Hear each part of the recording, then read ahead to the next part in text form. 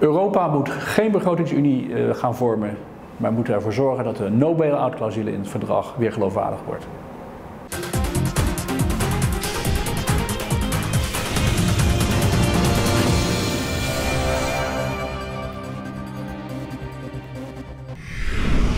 Dus als een land uh, er niet in slaagt om zijn begroting op orde te houden, aan de regels te voldoen, zijn er een heleboel stappen die eerst gezet worden, waarbij dat land als het ware geholpen wordt, gestimuleerd wordt om, uh, om, om toch aan de regels te voldoen.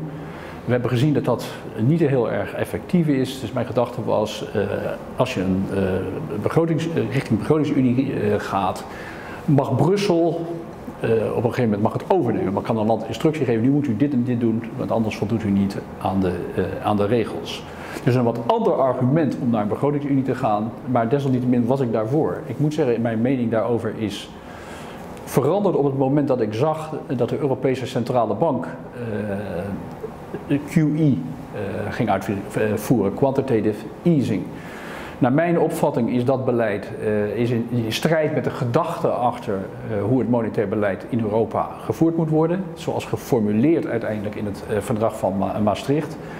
Maar wat ik heb onderschat, of overschat kan ik eigenlijk beter zeggen, is de, de, de, het anker dat het verdrag biedt om inderdaad beleid te voorkomen wat eigenlijk niet past binnen de filosofie die daarachter uh, ligt. Want wat uh, gebeurde, er waren mensen die zeiden, hé, hey, maar dit, dit, is, dit past niet, dit mag eigenlijk helemaal niet volgens het verdrag. Dat is getoetst bij de Europese uh, rechter. En de Europese rechter die, die zei van, wij hebben geen verstand van monetair beleid. Wij weten dat in het verdrag staat dat het gericht moet zijn op prijsstabiliteit. En het blijkt nu in de praktijk dat zolang je maar zegt dat het beleid gericht is op prijsstabiliteit, kun je alles doen, QE, uh, en ik weet niet wat er verder allemaal nog bedacht uh, kan worden.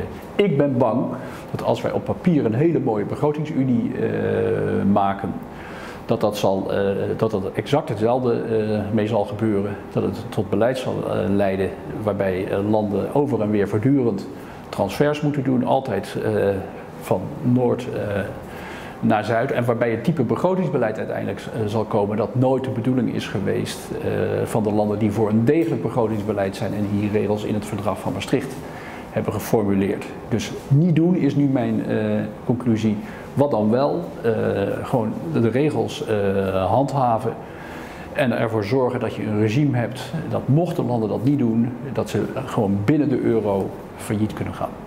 Het debat, het economische debat in Nederland, het begrotingsbeleid, uh, gaat daar helemaal niet over.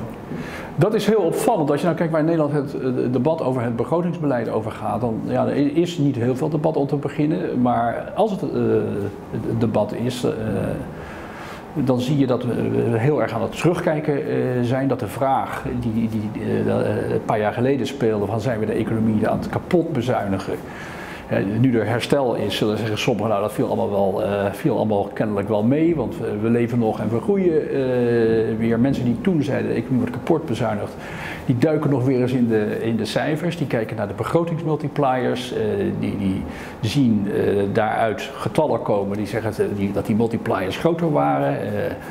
Het gaat dus heel erg terugkijken. Het gaat eigenlijk niet over de vraag van hoe moeten we nu institutioneel verder. Daarom is het juist veel verstandiger om begrotingsbeleid te ankeren en, eh, op regels te baseren. En wat we hier nu gedaan hebben tijdens de, de crisis is dat we de, door de grote opvang van de crisis hebben tijdelijk uh, die regels laten vieren, want het begrotingstekort mocht oplopen tot boven, boven 3% is richting 6% gegaan. De staatsschuld is gegaan van, ik meen ergens onder, net onder de 50% naar, naar, tegen de 80% aan. Dus we hebben de regels flexibel toegepast. Maar op enig moment moet je terug. En dan is het waar dat dat, dat, aanvankelijk werkgelegenheid kost. Maar dat is de prijs die je altijd moet betalen voor een crisis.